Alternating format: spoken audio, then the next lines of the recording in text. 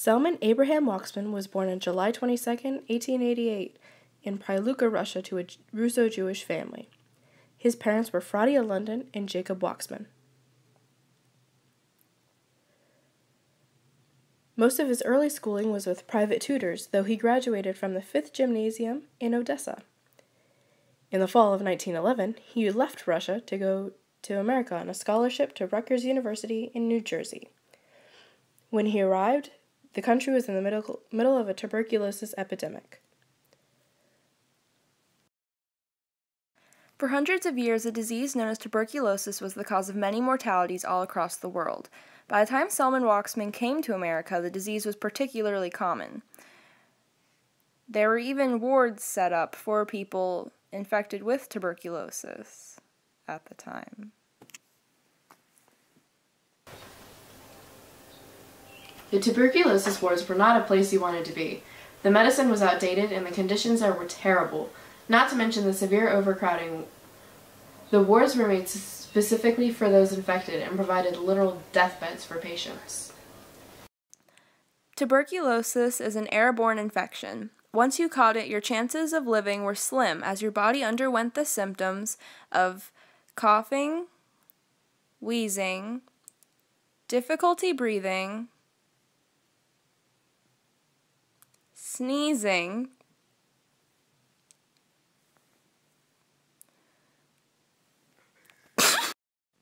night sweats,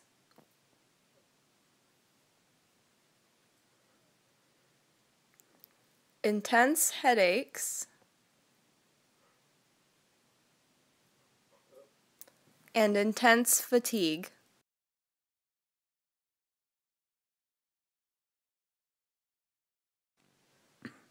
Now, thanks to modern day medicine, we have more efficient medicines and screening methods for the identification of tuberculosis, helping those in third world countries as well.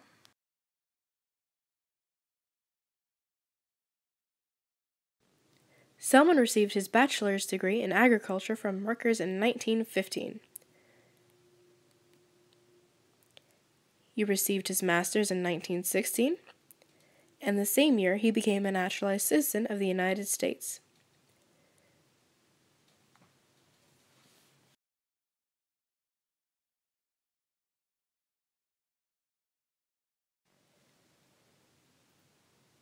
In 1918, he got a PhD in biochemistry, and in 1940, he became a professor of microbiology at Rutgers and became the head of the department.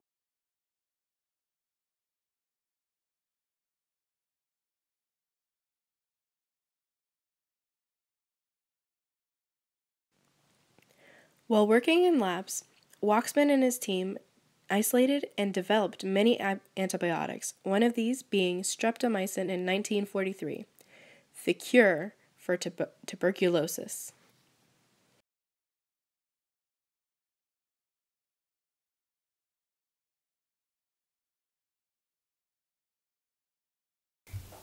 His development of streptomycin did a lot of good for our communities and was like the best medicine ever.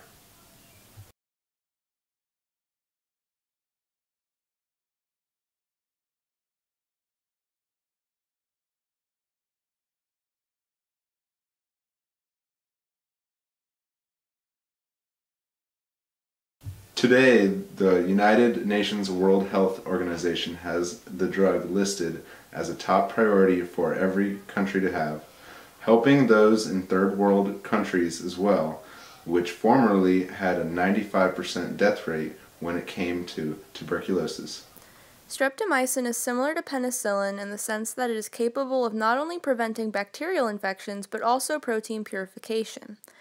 It is an antibiotic given through vaccination that treats not only tuberculosis but also a wide range of diseases and veterinary uses.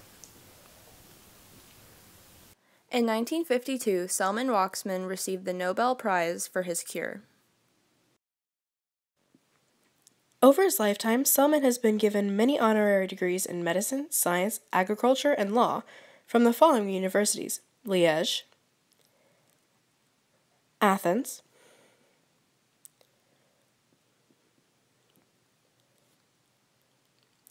Pavia,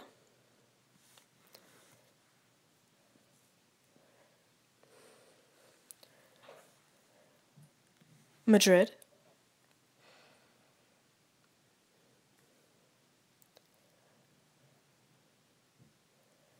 Jerusalem,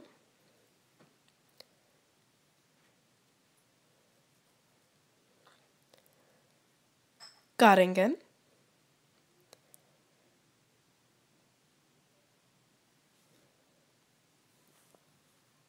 Strasbourg,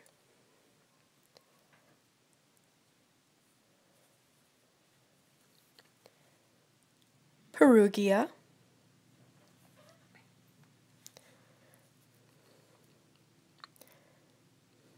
and the University of Keio in Japan, as well as many American universities and colleges. His wife was named Deborah Bean Mitnik before they got married.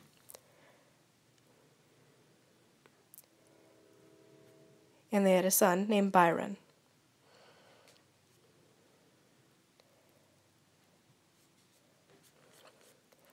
Sadly, Selman Waksman passed away on August 16, 1973.